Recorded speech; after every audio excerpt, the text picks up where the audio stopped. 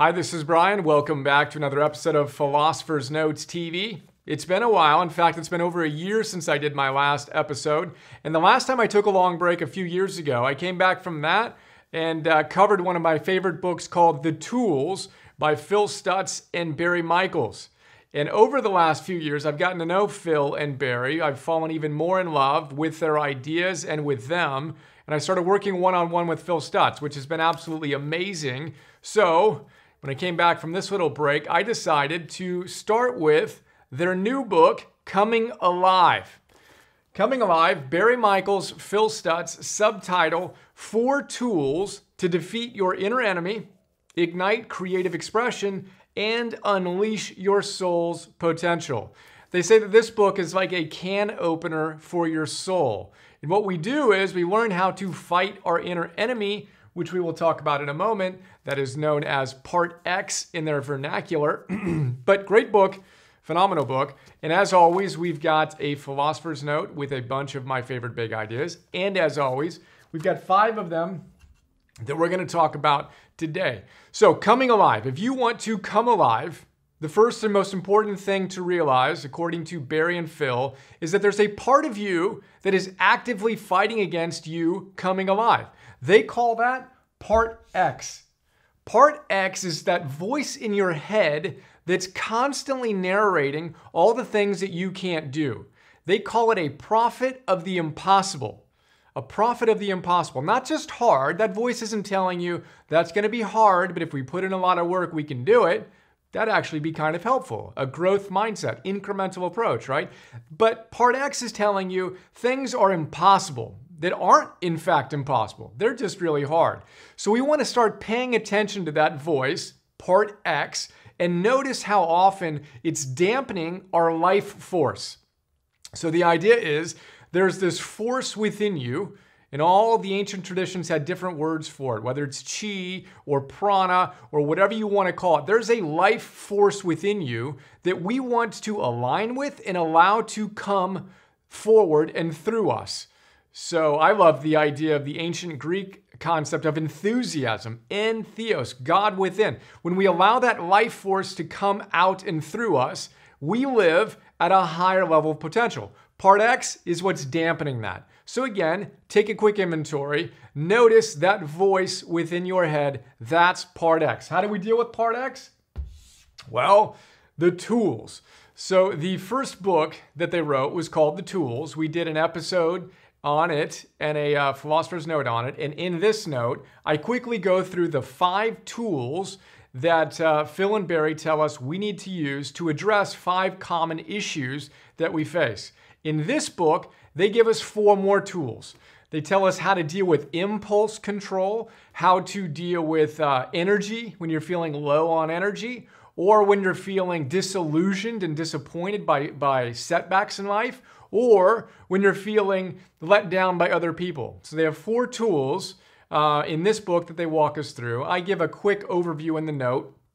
Um, for now, what I want to stress is the fact that these are tools that we need to use right in the moment that we're feeling part X taking over our lives. So, right in the moment when we're feeling disconnected from our life force, that's when we need to use the tools.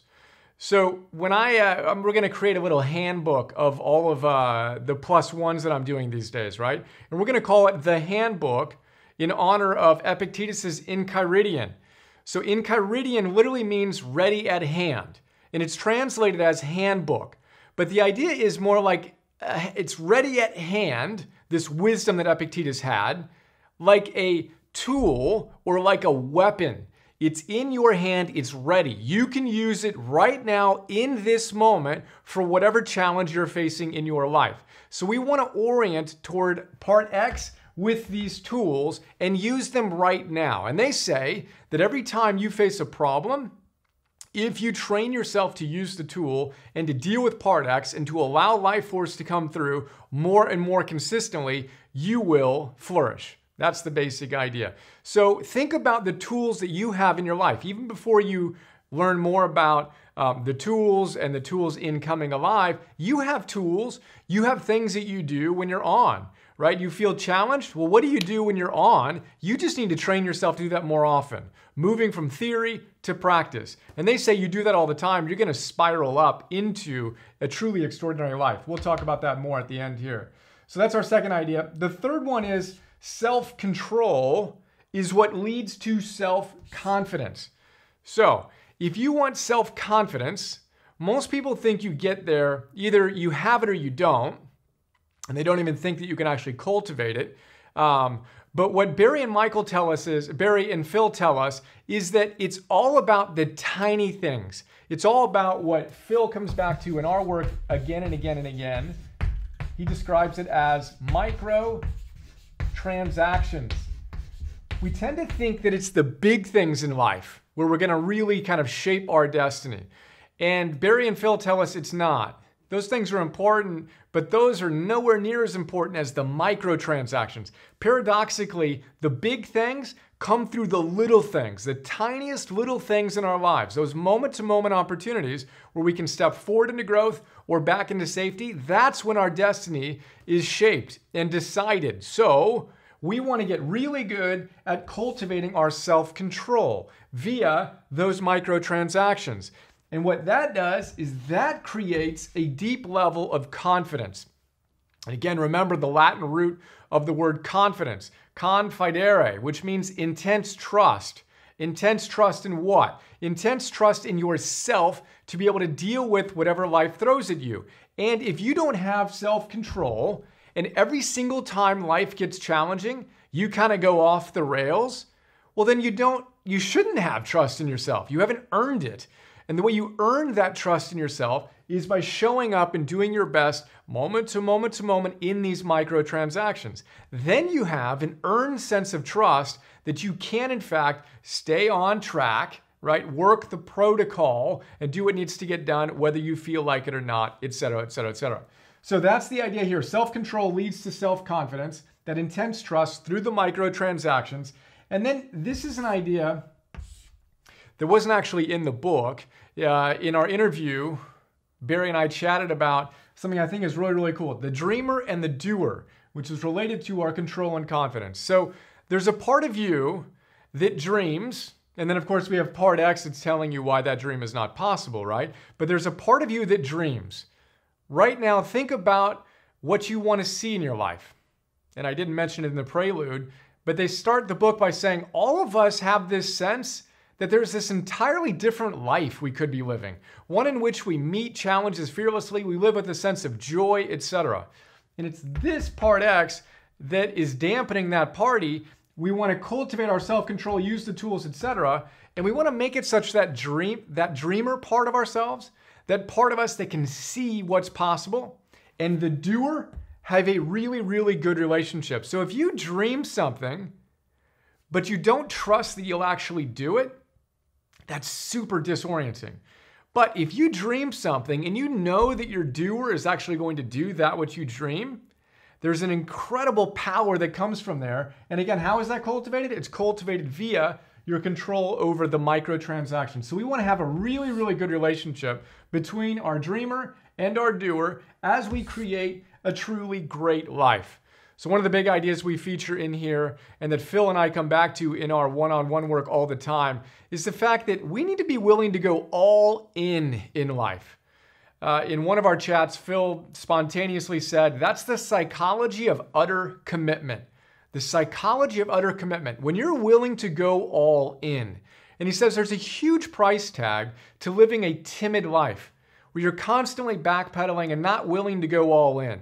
And most people aren't willing to go all in on anything in their lives because when you go all in and it doesn't work, it really, really hurts. And it's a lot easier to kind of sort of hedge yourself and not go all in because then you've always got the excuse that you didn't go all in. And oh, if you'd really gone for it, you could have made it happen.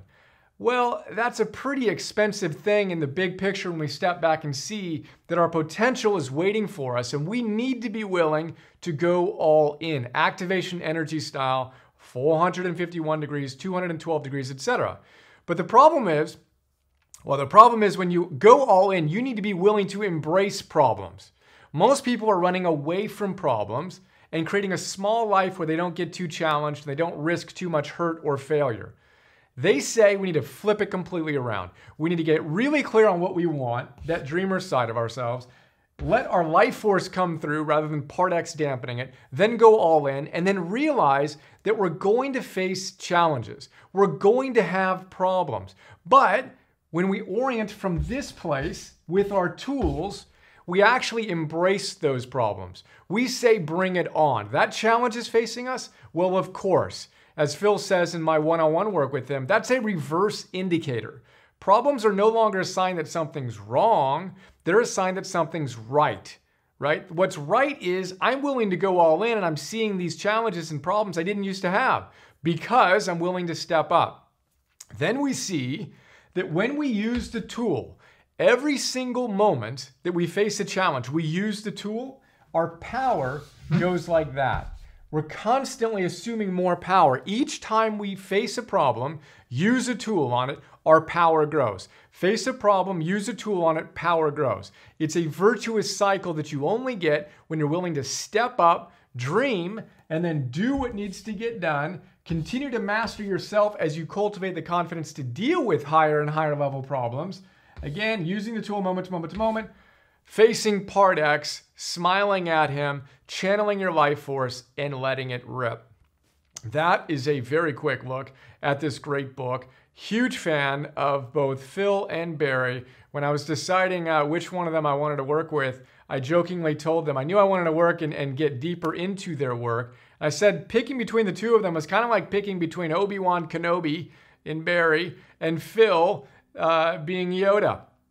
Obi Wan Kenobi, Yoda, two geniuses. I appreciated them and their work. Uh, I highly recommend both the tools and Coming Alive. Check out the notes, the other episodes, and if you're feeling it, dive in more deeply. I'm thrilled to be back. Can't wait to share more. For now, have another awesome day. See you.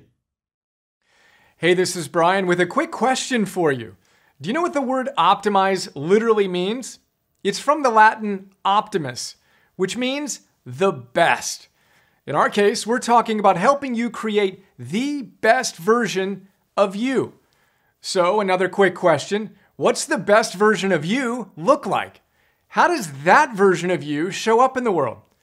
Well, helping you be that version of yourself all day, every day is what our optimized membership program is all about. Now, we obviously give away a ton of content for free, and we give our 10,000 plus premium members a ton more. Members get hundreds of philosophers' notes, which are 20 minute book summaries that help you apply the best big ideas from the best optimal living books to your life today. Plus, members get dozens of hour long Optimal Living 101 master classes. More wisdom in less time for your busy life on everything from the science of setting and achieving goals, how to optimize your energy via the fundamentals of nutrition, movement, sleep, and meditation, and how to be super productive day in and day out, while, of course, enjoying the whole process. Every facet of your life optimized equals you at your absolute best.